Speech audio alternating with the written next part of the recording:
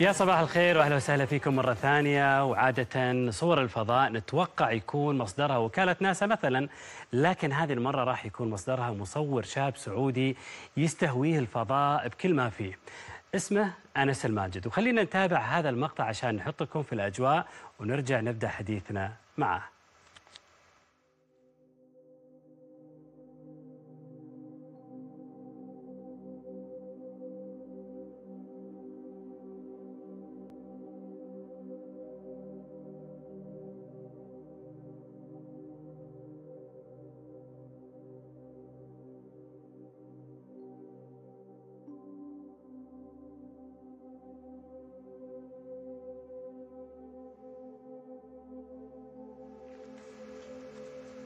هذا في عالم الفضاء وخلونا نرحب بأنس الماجد أهلا وسهلا فيك في كوكب الأرض يا هلا والله حياك الله طبعا أنت مش جاينا أكيد من الفضاء لكن عموما أنس إحنا مبسوطين بتواجدك معنا وتخصص أكيد أو نقدر نقول هواية من الهوايات النادرة اللي نشوفها لشبان يستخدمون هذه عادة تعودنا إنه كل اللقطات ناخذها من اقمار اصطناعية أو وكالة ناسا متى بديت قصتك؟ هل من الطفولة؟ كيف دخلت هالجو هذا؟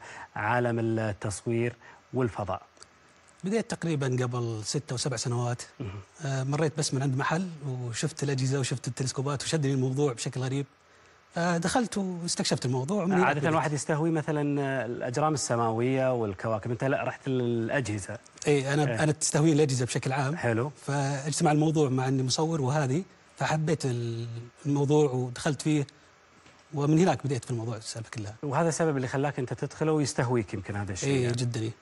طيب يعني لو تكلمنا إحنا بشكل عام يمكن إيش كانت أول صورة أنت أخذتها في عالم الفضاء؟ بما إنك يعني من ست سنوات وسبع سنوات وأخذت الجهاز وين رحت وكيف تعلمت؟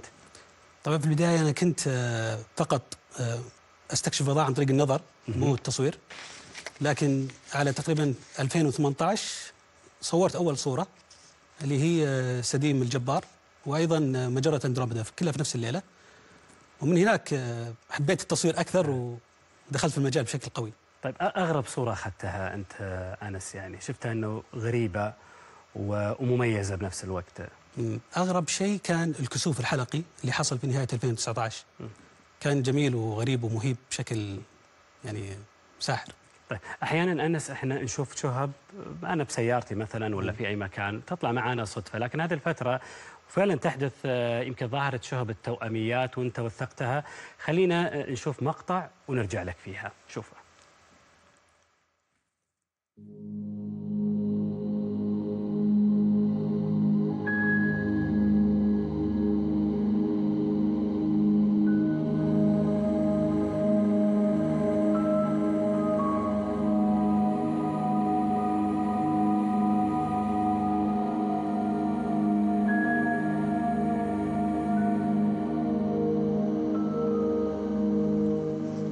يا سلام. يمكن هذه من الصور الشهب اللي يعني من المناظر الجميلة. أحيانا سواء أنا مع العائلة مع الأصدقاء أول ما نشوفها شوف شوف شوف على طول فمنظر ما الواحد يقدر يطوفه خاصة إنه يمكن ياخذ له ثواني بسيطة. خلينا نتكلم على هذه الظاهرة ظاهرة الشهب هي بالعادة حتكون هي تجي في أيام محددة ولا كل ثلاث أيام ولا كل يوم ولا كيف طريقتها؟ هي لها فترة من السنة ولها أسماء كثيرة. اللي حصلت قبل يومين تقريبا اللي هي شهب التوأميات. تحصل سنويا بنفس التاريخ في نفس الفترة هذه تستمر عدة أيام لكن اليوم هو يوم معين اللي تكون فيه البيك اللي هو أكثر كمية ممكن حلو. طيب إيش من المواقف اللي حصلت لك؟ نقدر نقول طريفة. إحنا نعرف إن أنس أنت لما تطلع لازم تختار أماكن محددة للتصوير واللي عارف إنه دائما يكون في صحراء كبيرة. عطنا المواقف لأن عادة ممكن تجلس يوم أو عدد من الساعات وما هو بالقليل. يمكن أبرز المواقف المضحكة بالنسبة لي كنت نايم في البر جنب الكاميرا. وصحيت في منتصف الليل لو أشوف قدامي كلب. يا ساتر. بيني وبينه متر تقريبا. يتفرج علي يناظر يقول إيش قاعد تسوي هنا شكله. أما صحيت كذا انحاش ومشي. فبالنسبة لي كان يعني موقف ظريف جدا. والله يعني من المواقف أكيد الواحد لما يصحى لما يشوف له أي حاجة يعني حتى لو بسيطة وصغيرة أكيد فما بالك عاد كلب وفي البر. طيب خلينا نتكلم عن آه هذه الظاهرة. إيش اللي يطمح له أنس؟ يعني أنت دخلت في هذا المجال وتعمقت فيه إيش هي طموحاتك أهدافك؟ آه إيش اللي أنت تتمناه في الفترة المقبلة؟ بالنسبة لي إني أطلع بأفضل صور ممكنة أنافس فيها أشهر المصورين وأكون قريب من الصور اللي تطلع من الأقمار الصناعية. هذا من ناحية يعني آه، الطموح المنطقي خلينا نقول. لكن الأحلام خلينا نقول آه إني ممكن أطلع الفضاء يوم من يا الأيام. سلام. فكرت يعني في الشيء هذا؟ والله يعني أحلم فيه بشكل مستمر يعني. بالنسبة لي آه، حلم حلو. طيب أي وقت مناسب الواحد لما آه، يعني حاب ياخذ صورة للفضاء ويطلع؟ متى؟ في النهار في الليل في أحداث معينة في وقت معين حتى اللي غير محترف وحاب يستكشف هالاشياء هذه. أهم شيء إنه ما يكون في قمر. القمر تقريبا يخلي السماء بيضاء في الليل. فلما تصور ما يكون التصوير واضح. إذا راح القمر تبدأ تطلع النجوم تطلع الأجرام تشوف الأشياء بشكل واضح. فهذا أهم شيء إن الواحد يطلع في فترة ما فيها قمر. طيب إيش احتياجات الشخص عشان يطلع تطلع الصورة حلوة؟ وإيش ال- الأدوات اللي تساعده على إظهار صورة الكون أو الأجرام السماوية؟ أهم شيء والناس أحيانا يقولون أبغى تلسكوب قوي أبغى كاميرا قوية هذا مو بالمهم. أهم شيء هو الجهاز التتبع اللي يتبع الجرب نفسه بفترة طويلة ويعكس حركة دوران الأرض. لو معك جوال تقدر تصور فيه. أهم شيء معك الجهاز هذا اللي هو جهاز التتبع.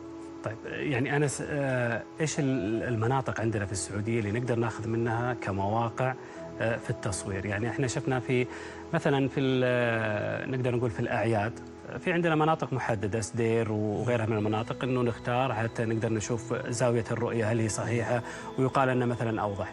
هل في أماكن فعلا محددة للاختيار ولا الأرض الواسعة يعني بأي مكان بالإمكان الواحد يشوفها بشكل كواليتي عالي؟ أهم شيء أن تكون منطقة بعيدة عن أضواء المدن والمحافظات. والسعودية لأنها كبيرة تقدر تأخذ أي مكان تقريبا. فقط أبعد عن المحافظة أو المدينة بمسافة 100 كيلو والسماء بتكون صافية جدا. مو ضروري إنك تكون في أماكن معينة مسمية. لا أي مكان. المهم إنه بس يكون بعيد عن المدينة وما في قمر.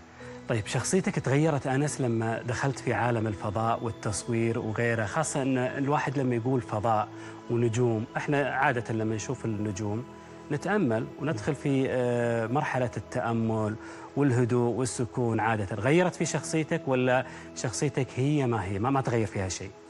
أحس إنها أضافت لي جزء من السكينة والهدوء. صار يعني عندي آه، نوع من التأمل أو الهدوء لما آه، وأشوف وأتأمل آه، الأجرام السماوية. الشخصية حبه حبه تبدأ تكون هادية. فأحس إني لاحظت على نفسي هالشيء إنه في هدوء. الشخصيه يا سلام. طيب يعني أنت تتابع أخبار الفلك يمكن والفضاء. إيش اللي آخر شيء عرفته واكتشفته ودك أنت يعني تصوره وتوثق هذه اللحظة؟ آه، طبعا في اللي هو يوم آه، 21 ديسمبر هذا اللي هو آه، آه، كوكب المشتري وكوكب زحل. تمام. يقترنون بحيث إننا بالعين نشوفهم تقريبا لاصقين في بعض. هم بالعادة متباعدين لكنهم قريبين من بعض من ناحية العين. حاليا بيكونون كأنهم قطعة واحدة بدون التلسكوب ما راح تميز انهم كوكبين بتشوفهم كوكب واحد. يا سلام. وبالتصوير يدخلون في مجال الكاميرا وتكونوا مع بعض في نفس الصورة.